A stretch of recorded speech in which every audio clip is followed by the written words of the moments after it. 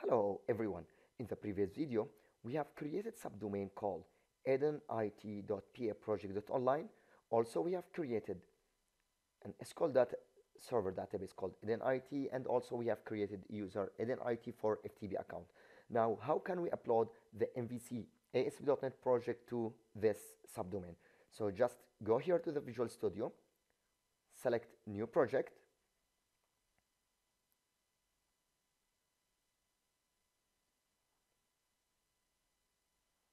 and now here let's select web ASP.NET web application and let's call this website as Eden IT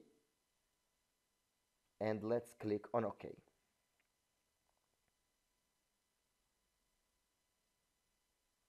Now let's select an MVC and also click on OK.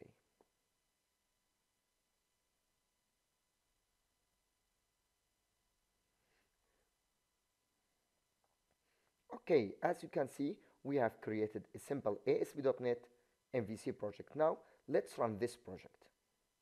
So just go here and click on run to check if everything is working fine. Okay, as you can see here, everything is working fine. This is simple project. Okay, here is the home, about, okay, contact. Also, you can go to login. You can register for this simple website. Now, how can we upload this website inside our GoDaddy FTP domain? So, let's go here, stop the project, and here, just go to the Solution Explorer, right click on the project, and select Publish. Now, we have many options. I'm going to select Custom and let's call it Eden IT okay underscore GoDaddy. It is just profile name you can give it any name. Click OK. And here we are going to select FTP so what about the FTP we are going to write FTP and then the subdomain we have got from GoDaddy which is edenit.pa project.pa online. And here we can add your folder which is Eden IT this example which is this one. This is my folder which is Eden IT of course. And here the username. And let's add the password.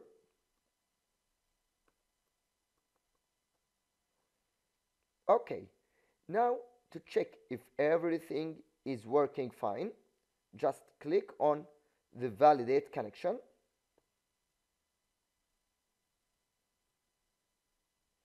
And as you can see here yes we have got everything is well.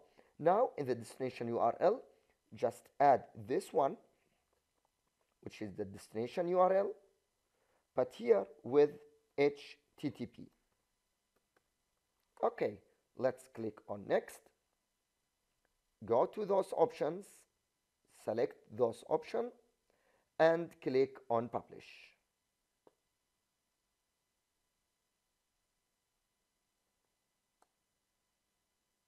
Okay so when we go here to the subdomain edenit.pa project.online we have got that error. And this because of the configuration setting of the GoDaddy server. So just go here to the file manager go down to the file web.config okay and here you will see something called system.web but at first we should click edit so we can edit the web.configuration file. And here now just go down. Where's system.web yes that one. Here in the system.web we need to add those two lines which is custom mode error off and trust level full. Okay which will allow the website to run on the web server of GoDaddy. Then click on Save. Now when we go here again and refresh the page,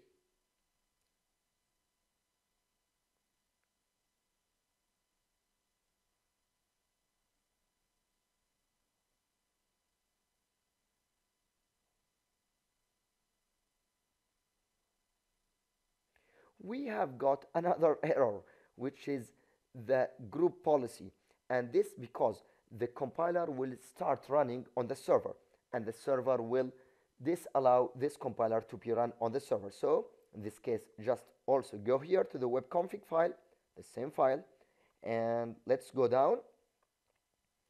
And here inside the server there is tag called system.codedom in the codedom there is some compilers so just remove everything inside this tag which is system codedom and just click on save.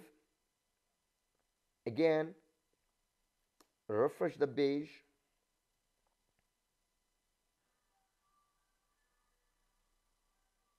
Yes as you can see here we have got this website.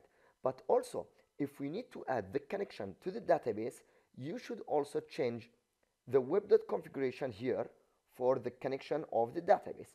So when we go here to the connection here is the connection. So we need to get a data from the database. So this my server here is the username and also we have a password and database. So all what you need here, the last step, is to go here and start changing the data with something like this. So when we go here, we can take a copy of this one, this connection, which is, has something like data source with the server name. Here is the username, password, and the database name. So we can change this one.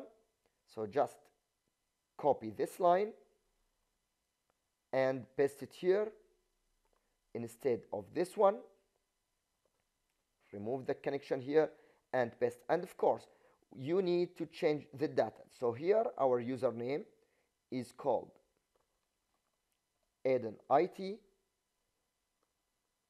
the password is Eden IT okay. At 2018 and the database name of course is called Eden IT so also we need to change the database name and click on save. So now we have published the website of ASP.NET MVC to our GoDaddy web server. And see you in the next week